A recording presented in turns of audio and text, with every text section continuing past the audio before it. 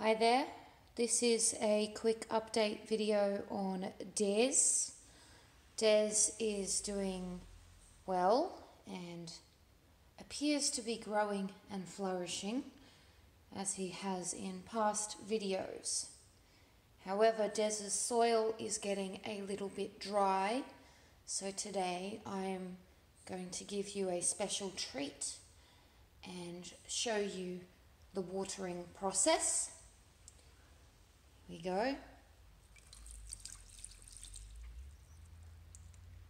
Now uh, Des has been watered and will suck up the delicious water within his roots and this shall fuel him for further growth and flourishment.